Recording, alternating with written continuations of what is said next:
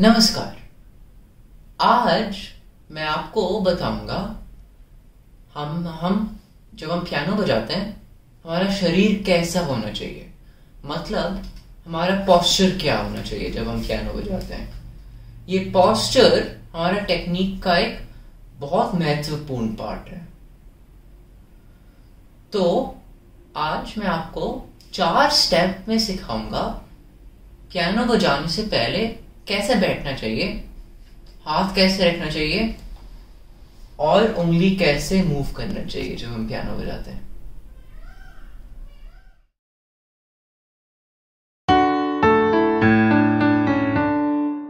पहले स्टेप में आप सबसे पहले ऐसे बैठो। दोनों पैर ऐसे रखो और हाथ पूरा शोल्डर से ढीला छोड़ो। पूरा ऐसे गिरने दो। पहले बैठने के लिए इतना दूरी रखो कि आपका हाथ ऐसे जा सकता है। बैठने में इतना दूरी रखो और देखो कि आपके पैर अच्छे से ज़मीन पे हैं और हाथ ढीला छोड़ो। ऐसे आप बैठ बैठ गए तो अगले स्टेप में जाओ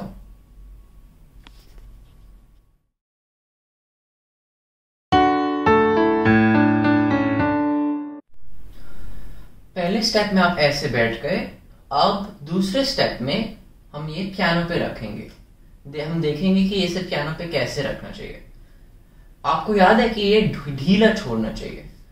तो ढीला छोड़ के ही हाथ ऐसे पियानो पे आने दो। ये कलाई ये सब कुछ एल्बो तक एक ही लाइन में रहेगा। ऐसे। और ये एल्बो में थोड़ा सा बेंड होगा। पूरा हाथ आपका ढीला होगा, पर उतना ढीला भी नहीं कि पूरा गिर जाए। तो ऐसे रखो। और ये आप ऐसे बैठ गए और कंफर्टेबल हैं तो अगले स्टेप में जाओ।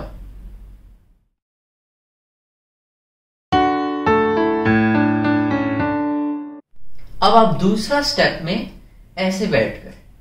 अब तीसरे स्टेप में हम सीखेंगे हाथ को कैसे रखना चाहिए। मतलब और हाथ में सबसे महत्वपूर्ण चीज़ है कि उंगली में कैसे रखना चाहिए, उंगली को कैसे रखना चाहिए। तो जब हम पियानो बजाते हैं तो हम हमको हमें उंगली कर्व करना चाहिए। मतलब सीधा नहीं होना चाहिए उंगली। कुछ भी ये सीधा नहीं होना चाहिए। हम ये तीनों जॉइंट जॉइंट मतलब जहाँ से ऐसे बेंड हो सकता है तो ये एक जॉइंट है ये दूसरा जॉइंट है और ये तीसरा जॉइंट है। तीनों सीधा नहीं होंगे, सीधे नहीं होंगे। तो ये ऐसे रखेंगे, सारे ऐसे रखेंगे। सोचो कि आपका ये पूरा ऐसा है और हमें फिंगर का टिप से बजाना चाहिए। मतलब जहाँ नाखून खत्म होता है तो ये टिप है ना तो उधर से बजाना चाहिए।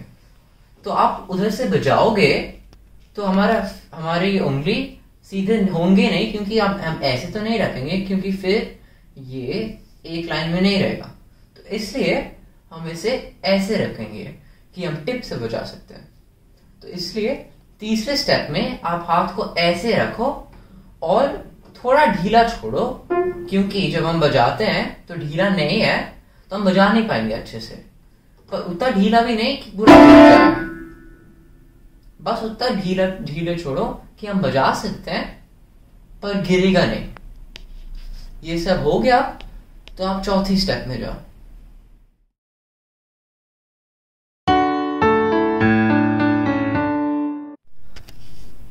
अब चौथी और आखिरी स्टेप में हम बजाने सीखेंगे। तो आपके हाथ ऐसे आ गए ना, उंगली कर्व्ड है, ये सीधा है, सब कुछ ढीला है, थोड़ा सा ढीला है उतना भी नहीं।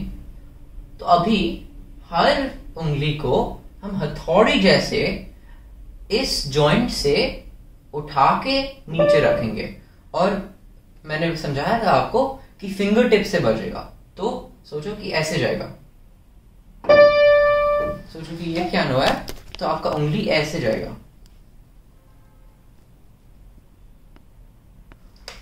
पियानो पे भी ऐसे होगा। तो एक बार आप मेरे लिए दोनों हाथ के साथ वन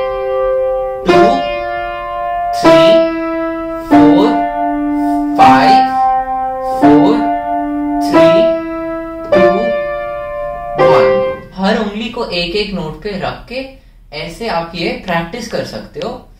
पहले एक एक हाथ करके one two three four five four three two one दूसरे लेफ़्ट हैंड में one two three four five four three two one और अभी साथ में one two three four five four three two one साथ में तभी बजाओ जब आप हर हाथ हर हाथ में अच्छे से बजा सकते हो।